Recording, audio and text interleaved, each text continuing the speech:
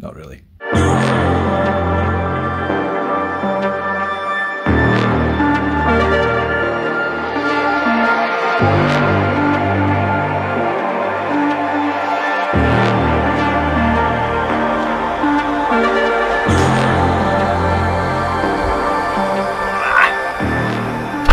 Right, just about to go. Um, a few words on mapping. So I was quite worried about the session we did the first time, mainly because it's the first time that Noisyboy's ever been on a rolling road.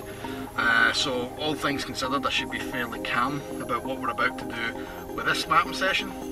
However, this mapping session is going to be the full Buna, all of the boost, all of the RPM rev range, and having found the issues that we found the first time, being honest with myself, I'm more nervous about doing this rolling road than I was with the first one.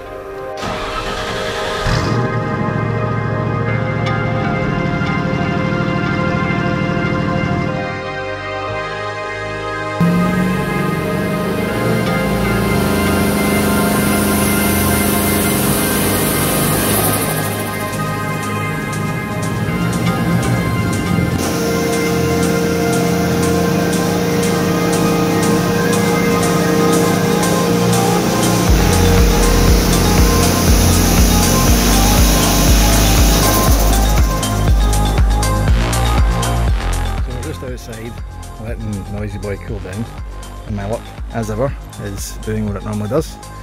We uh, have that oil leak again from the side of the rocker cover, except this time, instead of being a small drip, it's more or less hemorrhaging out of the side of the of the rocker cover. So nipping it up wasn't the solution. It's going to need a gasket. Luckily, Chris is happy enough if I, if I stand next to it with a fire extinguisher the, to carry on mapping. So we're just going to go rattle through all the rest of the uh, upper ends of the RPM, get it all mapped, do a few power runs, make sure it's doing what it should do, and then we're going to put a pin in it. Uh, we'll still not address the, uh, the idle, so we'll see how we go on. So fingers crossed we actually get this done, man.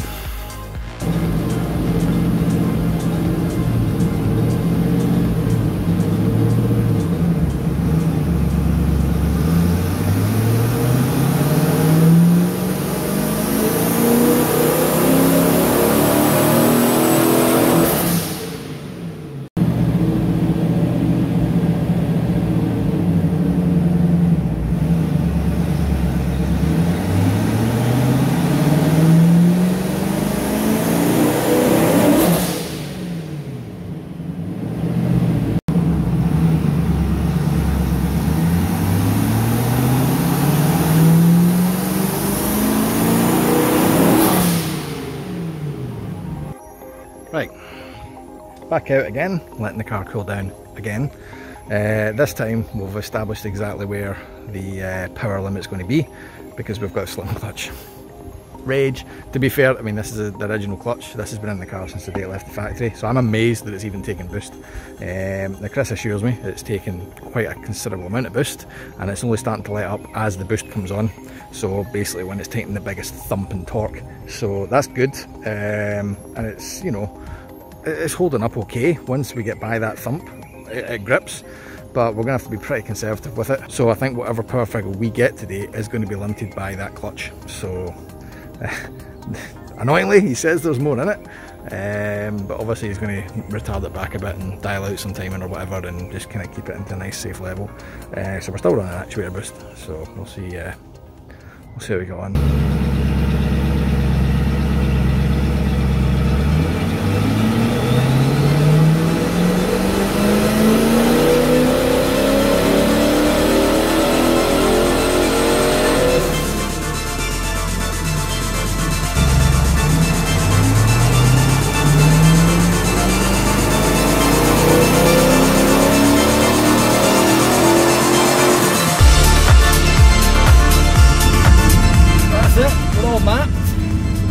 Done. Um, obviously it's conservative because the clutch is now the next weak link in the chain. But we are sitting at 318 horsepower and 377 foot-pounds of torque. Not a bad result, all things considered, but I know what everybody wants to know, and that is, what does that feel like?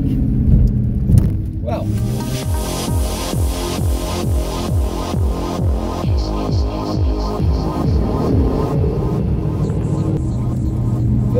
like this.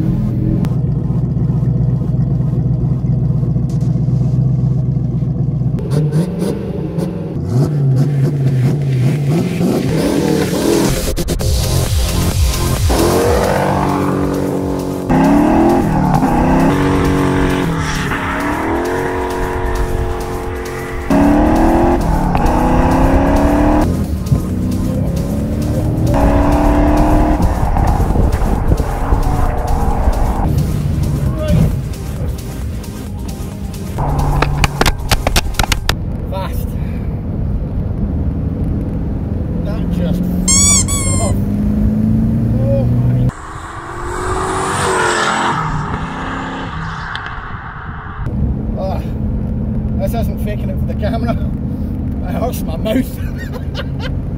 I mean that doesn't sound like a lot of horsepower in paper, but when the car barely tips the scales at a ton, that's that's fast. The acceleration of this thing is savage. What was a fairly competent Grand Tourer has now become this rabid horizon hunter of a car. It just does not give up. The worry is, when I get to fifth gear and it's still pulling like it's in second, I don't have the balls to even look at the speedometer, and that's that's a problem because it is high. It is a fast, fast car. Th- This is to me what a TVR should be. Before, with about 240 brake, it was alright, but it wasn't the lunacy that TVR's famed for. Now, now it is. This chassis is only barely holding this power together. On launch, you can feel the back end shaking and swirling, just trying to put the power down. And that doesn't let up, it just keeps going and going and going. And the tyres are just fighting whatever grip they can get. But I say, it's now exactly what I wanted it to be, so I'm happy with that. A wee bit extra grip maybe wouldn't hurt. But um, I think for now, I need to learn how to drive this car again. You want to know what's next for Boy, hit the subscribe button, stay tuned, and we'll take this thing for a proper road test and see if uh, it does more than just straight line speed. Catch you soon.